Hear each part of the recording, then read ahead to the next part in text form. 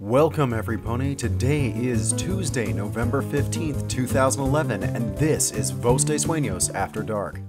Today, we have My Little Avengers Part 1 by Koolerkid. Celestia's sun was just breaching the horizon as Macintosh Apple, more commonly known as Big Macintosh or Big Mac, current head of the Apple family and owner of Sweet Apple Acres, awoke from a peaceful night's sleep. The bright red earth pony gave a loud yawn as he heaved his enormous frame upright, the bed springs creaking beneath him.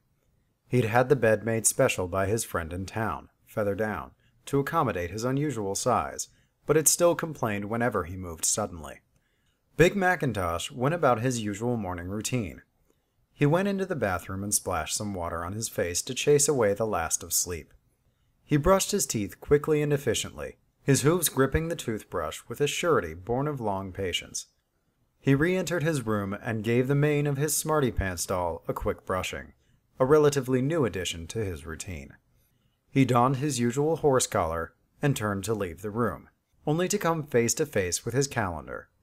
The calendar had a great many marks upon it in red ink, signifying days of importance to running the farm.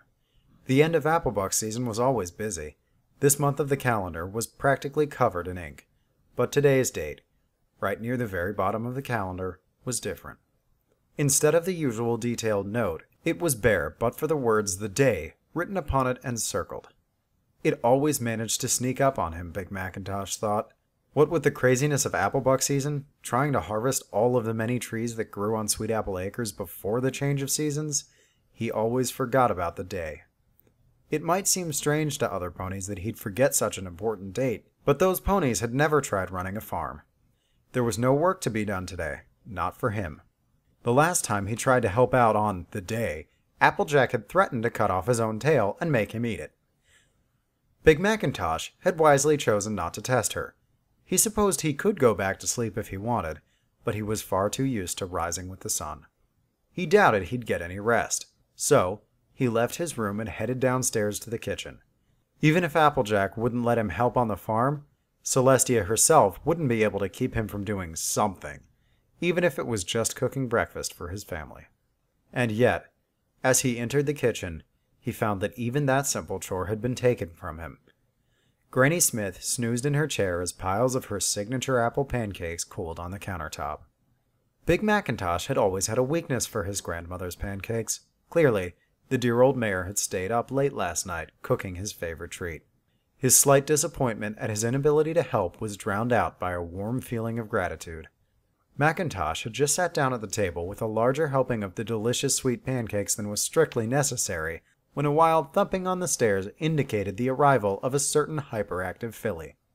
Apple Bloom rarely awoke this early, but today was the day. She wouldn't want to be late to greet her brother. Big Macintosh stepped away from his plate and braced himself just in time to meet a flying tackle hug from his youngest sister. Happy birthday, big brother! Apple Bloom chirped happily. Big Macintosh smiled as he carefully returned the tiny filly's hug. Mornin', Bloom, he drawled, setting her down carefully. Seems Granny Smith made us some pancakes. Want some? Do I? Apple Bloom exclaimed, excitable as always. With a chuckle, Big Macintosh served his younger sister some of the pancakes as another, much calmer set of hoof steps on the stairs signaled the arrival of Big Mac's last remaining family member. Happy birthday, Big Mac! Applejack called cheerfully, if a little sleepily, as she entered the kitchen. Applejack had always been a heavy sleeper, but she refused to let that stop her from waking up on time. Big Macintosh worried about her sometimes. But ever since the spectacle of last Applebuck season, she had been taking better care of herself. See you found the pancakes Granny Smith made for y'all. She served herself some. So, what's the plan? Big Macintosh thought for a moment. Normally, when he had a rare day off, he liked to find a quiet corner to read. He was actually quite a fan of adventure novels, but opportunities to read were far too few. As appealing as the idea sounded to him, though, that just wouldn't do for today. You had to do something special for your birthday, Otherwise, it was just another day. Think I'll go hiking, he said finally. Haven't been up in them mountains in years. The mountains? Applejack looked distinctly uncomfortable. I don't know, Mac. It can get mighty dangerous up there. The girls and I saw a Hydra up there once. Well, ran from a Hydra. Same thing. Not to mention there used to be a dragon up there. Who knows what could have moved in after it left? Big Macintosh gave his sister a rare smile. When did you become the reasonable one? Seeing Applejack's annoyed face, he gave her a quick nuzzle. Oh, don't worry none, sis. I'll be fine. I can take care of myself. Applejack just sighed. I know. I just worry, that's all. Y'all know we couldn't get by with it.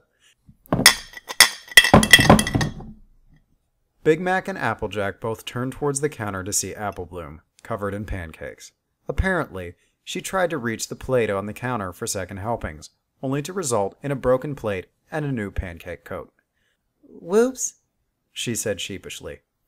Applejack rolled her eyes. You finish your breakfast and get ready for that hike of yours, Mac. I'll take care of this. Yep, Big Mac replied, mildly relieved to not have to deal with the sticky filly. You be careful now, you hear? Applejack said as she helped secure Big Macintosh's saddlebags. Yep. Don't worry, I'll be back before Pinkie's birthday party. The large stallion promised, giving his sister an affectionate nuzzle. You look after Apple Bloom and Granny Smith. Carrot Top will be by later to check up on you. Check up on me? Applejack cracked a smile. Don't you trust me? I'm a bit old for a babysitter, Mac.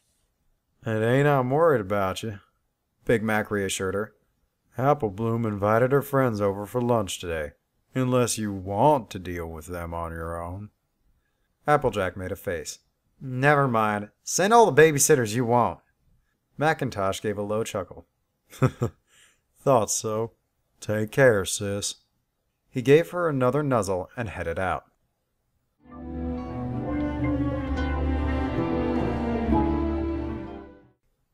Big Macintosh had always loved the outdoors, the fresh air, the smell of nature. He counted himself lucky that his work required him to stay outside all day, rather than cooped up in a stuffy office somewhere. Still, farm work kept him so busy, he rarely had time to stop and enjoy himself. As he hiked up the gently sloping mountain path, he kept his pace relaxed, stopping frequently to smell the flowers, or give a crumb of bread to a passing animal, or simply to admire the scenery. And what scenery! Even only halfway up the mountain, the view from up here was simply breathtaking. More than once, Macintosh found himself wishing he was an artist or poet, so he could capture the natural beauty of the gently rolling hills and wide open plains of grass below him. Even a camera would do. Sadly, Big Macintosh had never been a very artistic pony, so he simply admired the scene and continued the upward climb. Celestia's sun was reaching its zenith now, and even the indefatigable Big Macintosh was beginning to tire. He decided to stop and rest, leaning against the rocky wall of the mountain as he fished for an apple out of his saddlebags. He munched on it contentedly as he pulled out one of his favorite books, a fascinating book by a stallion named Colton. The plot was slightly confusing, but it seemed to be about a magic ring and a fellowship of ponies that formed to safeguard it. Applejack's librarian friend Twilight had recommended it to him, and let him keep it for an extra week since she knew how busy he was. He was just settling down to read it when a large growl filled the air. All at once, Macintosh was alert, hurriedly sweeping up his borrowed book into his saddlebags. A second growl sounded as he hurriedly got to his hooves, just in time to see the source of the noise clambering up the path behind him. It was a creature he recognized from an incident about half a year ago, when that loudmouth show mare had come to town. A large bear, bigger than the barn back on Sweet Apple Acres, with skin seemingly made of stars and blue sky, an Ursa Minor. The monster was a bit smaller than the one that had attacked Ponyville, but it was still plenty large enough to crush even a pony of Big Macintosh's size under its paw. One thing that the small, rational part of his brain that wasn't panicking noticed was a strange symbol inscribed on the beast's forehead, but he had no time to regard it. Big Macintosh was a pony of incredible strength and stalwart courage, but when faced with this immense beast, the only recourse was to do something he was very much unaccustomed to turn tail and run. Big Macintosh turned and galloped up the mountain path, hoping the Ursa wouldn't follow. It was just a baby after all, he reasoned, remembering what Twilight had said after banishing the beast from Ponyville. It was likely just grumpy and stomping around. It wasn't after him. He just needed to put some distance between him and it, and he could continue his leisurely hike. Right? Apparently not, as a loud roar and earth shaking footsteps indicated the massive blue beast giving chase. Big Macintosh's powerful legs pumped desperately, trying to escape. But, as strong and fit as the farm pony was, he was built for endurance, not speed. The Ursa behind him was not an especially fast beast, but its incredibly long pace meant that it could chew up distance at an astonishing rate, gaining on the fleeing Earth pony at an alarming rate. This wasn't working, Big Mac thought, searching desperately for some means of escape. Other than continuing to run desperately forward, his only options were to throw himself from the mountainside or run towards the Ursa, hoping to dodge its legs and teeth and get past it. A glance behind him showed that option to be unfeasible. The mountain path was just large enough to accommodate the beast. He'd never squeeze past. Mac's chest began to burn with exertion as the Ursa Minor came closer and closer, its enormous jaws snapping at him viciously as they approached. Just as he began to despair of his survival and contemplate the bitter irony of dying on one's birthday, his salvation came into view. A cave set on the side of the mountain. It was a spacious opening, but far too small for the pursuing beast. With a burst of speed born of desperation, the exhausted earth pony cleared the last few feet to the cave and dove inside just ahead of the massive bear's snapping jaws. Sprawled on the ground and grasping desperately for air, Big Mac looked back to see if the Ursa would leave. Sadly, quite the opposite was true. The beast seemed determined to follow its quarry, despite the physical impossibility, forcing its head and shoulders into the too small opening. It roared in frustration, its thrashing shaking the cave violently. Big Mac could feel the vibrations through his aching, exhausted hooves. If this kept up, it would collapse the cave on both of them. Horse apples, Big Mac swore quietly. He couldn't stay here, that was for sure. Already, pebbles and small rocks were beginning to fall from the ceiling of the cave. Thankfully, a tunnel extended deeper into the mountain, away from the maddened beast. Forcing himself to his hooves, the exhausted Stallion hurried down the tunnel as fast as his aching limbs could carry him. With any luck, the tunnel would come out somewhere else, so he could just leave the mountain's innards without having to go past the insane Ursa.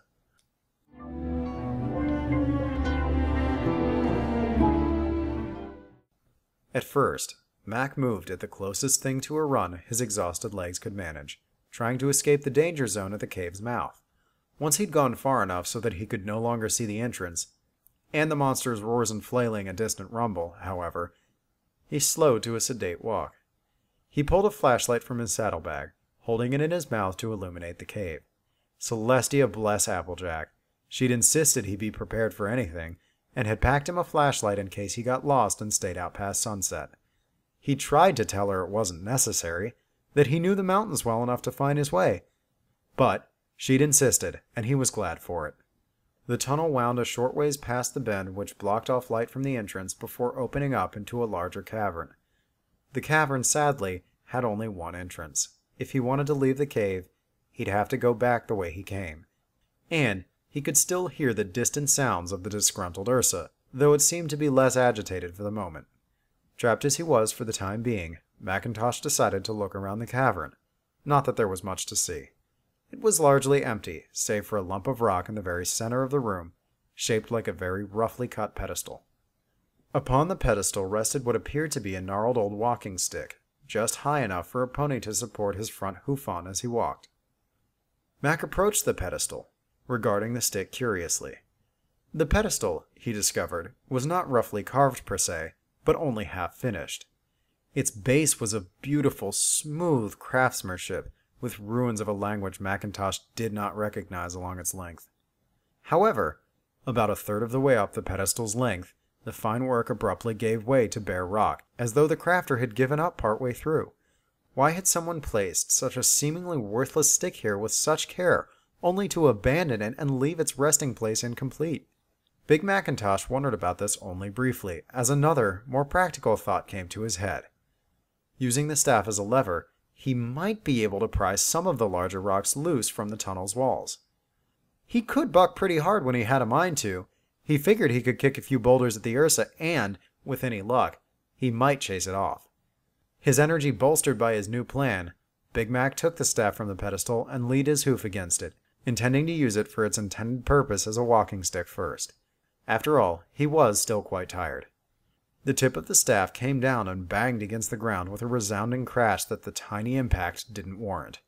A bright light emitted from the cane's top, growing brighter and brighter until it enveloped him with a bright flash and a crash of thunder.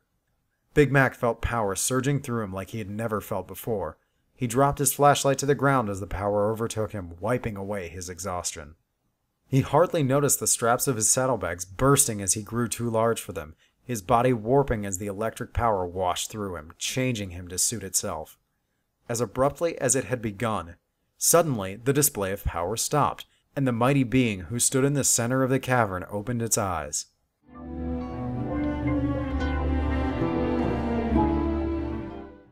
Miles away in Ponyville, one pony was in the library, busily studying a history of sexuality in the Griffin tribes. Twilight found the subject endlessly engrossing and rather enlightening. It actually went some ways towards explaining the highly defensive behavior of Dash's friend, make that former friend, Gilda, during her visit to Ponyville. However, she was distracted from her studies as she suddenly detected a massive surge of magic, so powerful it almost felt like a physical blow to her horn. The shock of it knocked her to the floor, causing her to drop the book. Her book was swiftly forgotten, however, as she called to her faithful assistant. Spike! She called out. Get my book on advanced spellcraft and magical phenomena, then get some paper and quill. We need to send the princess a letter.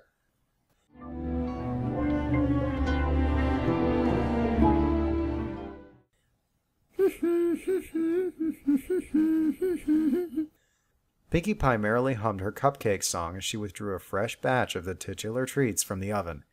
She took them to the counter to apply some icing, her mind wandering as it often did. At the moment, she was wondering what clouds were made of. They just felt wet and cold when she passed through them on her whirlicopter, but Rainbow Dash slept on them all the time and said they were warm and comfy. How could anything be warm and dry and cold and wet at the same time? Was it magic? Was there some kind of trick? Did Pegasus wings turn clouds warm somehow?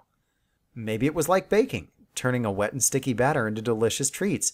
Oh, maybe clouds were made of pastries. Suddenly, a powerful shudder ran up her spine as her Pinkie sense went into overdrive. Her entire body shook with the force of the sensation, her spine twisting like a pretzel before she spun around in a circle like a miniature pink tornado. Finally, she plopped down on the ground. The spinning left her dizzy. Pinkie shook her head, trying to clear it. That was different. She hadn't felt a Pinkie sense like that since since. That's not good, she whispered.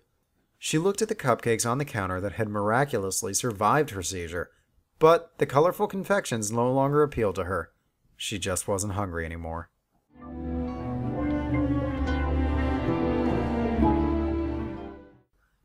Princess Celestia was in a terribly boring meeting about the wages of weather ponies in Hoofington when she felt it.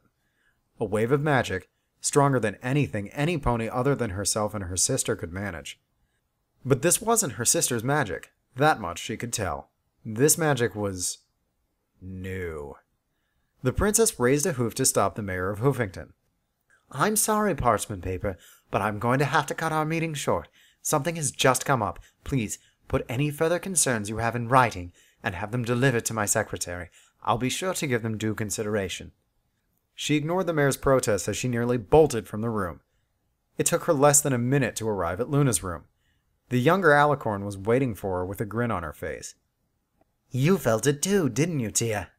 She asked excitedly, looking for all the world like a filly on Christmas morning. That was new. Oh, I felt it all right, Celestia assured her, feeling a smile of her own steal across her face. I don't know where it came from, but she was interrupted as a scroll materialized in a flash of green flame before her. Ah, sweet, dutiful Twilight, she must have felt it as well. Let's see what she discovered. She levitated the scroll up and opened it.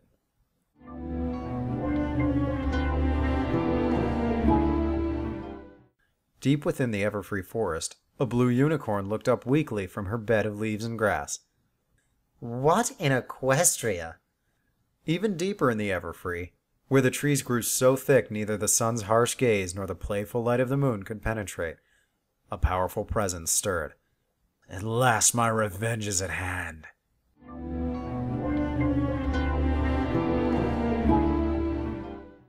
Up in the mountains, the Ursa continued to grunt and snort as it tried to force its way into the cave after its quarry. Its efforts ceased, however, as it saw something stirring ahead. But this was not its quarry. This was something new. And it was coming towards the monster very fast. A powerful voice rang out, echoing off the mountains. Begone, foul beast! The figure roared, moments before something very hard and heavy impacted the Ursa's head and sent it sprawling, instantly unconscious. Floating triumphantly in the air above the beast was a glorious alicorn, larger in stature than even Princess Celestia, if only by a few inches. His coat was a deep blue with silver highlights along his sides. His mane flowed like spun gold and crackled with electric power. His flank was covered with a large storm cloud cutie mark bisected with a single golden lightning bolt. His wings stretched out several feet to either side, and his horn was nearly a foot long itself. To his right forehoof, an ornate hammer with an intricately carved stone head was bound tightly with thick twine to allow him to swing it with ease. The majestic Alicorn looked down at the beast he'd felled, taking note of the rune inscribed into its forehead.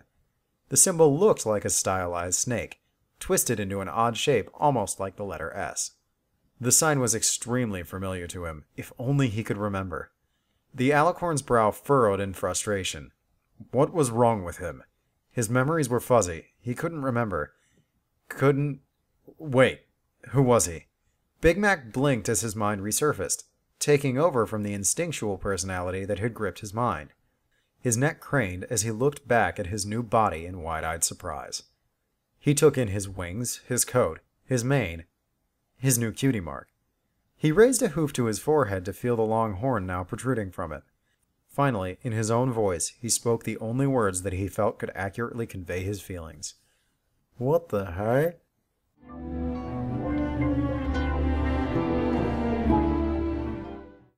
And that is the first chapter of My Little Avengers. Join me next week for Past Sins this is Voz Voste Sueños signing off. Safe travels, every pony.